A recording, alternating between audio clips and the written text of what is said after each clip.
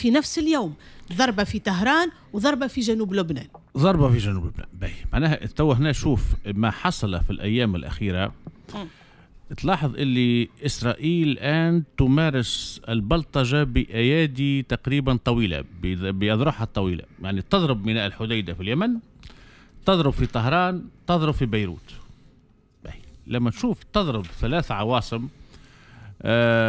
تقريبا أو ثلاثة معناها بلدان في المنطقة ولم نسمع أي ركز للمجتمع الدولي ولا لهم يحزنون. لم نرى يعني عندما نتحدث عن بيروت راهو ضرب عاصمة عدوان أجنبي على عاصمة عربية. آه لم نرى ردود أفعال.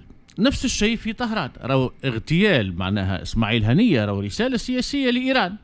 كانوا ينجموا يغتالوا في قطر وقطر أسهل لهم من طهران. أسهل بكثير من طهران. لكنهم اغتيالوا في طهران هذيك رسالة سياسية أن ايادينا طويلة وأن أذرعنا طويلة واننا بإمكاننا أن نصل إلى عقل داركم. اذا ثم بالتالي هنا ال ال ال إحنا طبعا نشوفوا رد الفعل أكيد باش يكون هناك ردود أفعال. هذا مؤكد. يعني إيران لا يمكن أن تسكت على تهديدها بهذه الطريقة. مش ممكن.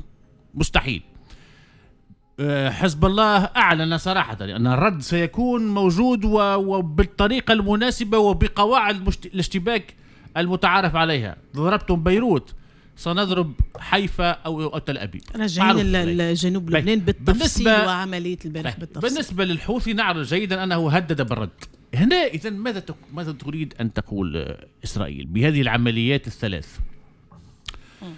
التي كما ذكرت يا سماح راهي مش ممكن تتم دون ضوء أخضر أمريكي. من سابع المستحيلات. صحيح صحيح. مستحيل. لا أمريكا قالت كنا على علم. على علم. إذا فما تنسيق كامل. هنا شوف الصهيونية العالمية تريد إنعاش الكيان الصهيوني بعد الضربات التي تلقاها في الفترة الأخيرة. الكيان الصهيوني وصل إلى مرحلة من الضعف ومن الهشاشة. لم تعد إسرائيل هو القوة الضاربة في المنطقة. المكانة متاعها كقوة ردع في المنطقة انهارت وانتهت. الجيش الصهيوني هذا الجيش الذي يعني يسمى كما ذكرت لك أمس البقرة المقدسة في إسرائيل انهار وانتهى. بالتالي لابد من عمليات تعيد له الاعتبار وعمليات تعيد لهذا الكيان بعض المكانة التي فقدها في الشرق الأوسط منذ يوم 7 أكتوبر.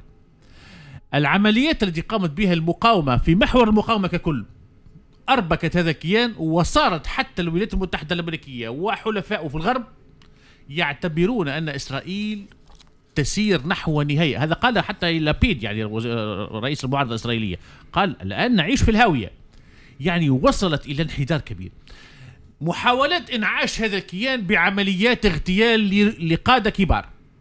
إحنا إيش قلنا؟ سماحتك نتذكر البارح قلت أنا إن إسرائيل سترد بعمليات نوعية. وقلنا اغتيالات. اغتيالات. اغتيالات نوعية لشخصيات مميزة واعتبارية. مم. صارت هذه في بيروت وصارت في طهران. ولكن راهو الغباء هو جندي من جنود الله. وهذه العمليات سيرد عليها بطريقة حاسمة لا يتوقعها الكيان الصهيوني. راجعين تباعا في سيناريوهات الرد. كلمة أخيرة فاصل. سماح. كلمة أخيرة. عملت لك هكا أنا أبو البيبر. اي ما نخلي فاصل بعد الفاصل فاصل ورجعي بعد الفاصل فاصل وسبور غرام مال عيش غرامك مع سبور ماك على ديوان فام مع بعضنا الصيف أحلى أولا صيف سنة ديوان فام هي الموجة اللي توديك ابدا نهارك مع أحلى ناس ناس الديوان. وصبحية ال weekend مع weekend على الكيف. تبع آخر الأخبار السياسية في هنا تونس. وما يفوتك شيء فيه منك نسمع.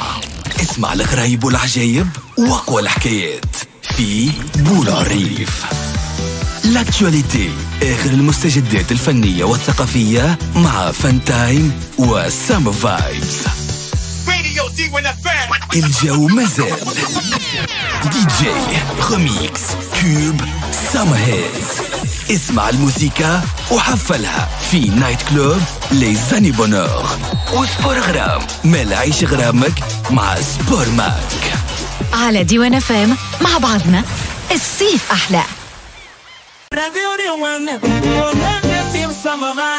أولا صيف سناء ديوان FM هي الموجة اللي توديك. ابدأ نهارك مع أحلى ناس ناس الديوان. وصبحية ال weekend مع weekend على الكيف. تبع. سيدي وين رجعنا لكم في تغطية خاصة لإغتيال الشهيد إسماعيل لهنية حسب رويترز المكتب الصحفي. للحكومة العبرية ينشر صورة لهنية على فيسبوك مع عبارة تم التخلص منه. سيد العميد. هي هذاك هو. قلت لك لا يتقنون إلا هذا توا آه، نتنياهو معناها سيستغل هذا يعني أنا قلت من أول شهر يعني يفتش على أي انتصار معنوي وهو يعتبره انتصار معنوي. كان أنا أرى عكس ما يراه البعض أنا أرى أنه العملية اللي عملوها كما قال بوبابة توا هي قمة الغباء لأنه هذا راهو سيزيد المقاومة إصرارا. وأنا بشرت قلت راهو 30 ألف ولا 40 ألف مقاوم فلسطيني باش يوليو 200 ألف. أنا متأكد بعد أخطاء وراهو استراتيجي مش أنا قلت استراتيجيين كبار قالوا لهم راكم قاعدين تعملوا في أكبر خطأ منذ عام 48 ليش؟ لأنه راهو اليوم باش تخلقوا هم يقولوا بقى منطق آخر. معناها هم يقولوا مسمينا المقاومة الباسلة مسمينها إرهابيين قالوا لهم راكم ستخلقون 200 ألف إرهابي جديد. فهمتني؟ هم مسم... هم الصهاينة مسمينا إحنا مخربين والآخرين مسمينهم إرهابيين. معناه وال... وال... والمحنكين الحقيقيين قالوا لهم شوف أنا ديما نعاود الصورة نفسها نعاودها صورة ممتازة. راهو شجرة لما تقطع تصبر منها أعراف راهي تزيد تقوى من اللوطة راهي فلسطين شجرة مباركة زيتونة مباركة كل ما يحاولوا يعني يقصوا أعراف منها هي تزيد تضرب في الأرض وزيد تتعمق. أنا متأكد من هذايا وأنا ضد عملية الإحباط لأنه اليوم القائد اللي يجي بعد هنيه راهو موجود وراهو القائد باش ياخذ مش على على شهيد اللبناني. كيف كيف؟ موجود وراهو ستستمر الحياة. وبالعكس راهو أنا متأكد اللي أكثر ما يمكن يقلق الصهاينه هو أنه تكون الرؤوس مرفوعة وتكون فكرة الشهادة. إحنا مسلمين ولا بطلنا؟ يا أخي مش أرقى حاجة عندنا شهادة؟ بطلنا؟ يا اولادي راهو أقصى ما يتمناه المرء انه أنه يكون شهيد لأنه الشهداء عندهم مكان خاص عند عند سبحانه وتعالى. اذا شنو هالأحباط؟ يا ولادي بالعكس أنا الراء اللي صهاينة كما قالوا البابا موافقك 100% كل خطأ يعملوه يزيد باش يقوي الشجره ويزيد يبث. معناتها اعطوا نشوفوا اعطوا نشوفوا في الضفه باش تكون كيفاش تكون رد الفعل كيفاش باش تكون معناها. أنا أنا حيين. اعطوا تشوفوا واش باش يصير. ما يزيدنا إلا قوة وإصرار. أنا قلت راهو زفة الشهيد هنية ويزمن الفكرة الوحيدة اللي تمشي للصهاينة أنه زف شهيدا وأنه بطل باش يتنحط اسمه يتنحط اسمه في قائمة شهداء القضية الفلسطينية. كما صارت القضايا الأخرى كل ما ثماش قضية تحرر في العالم ما فيهاش قائمة شهداء.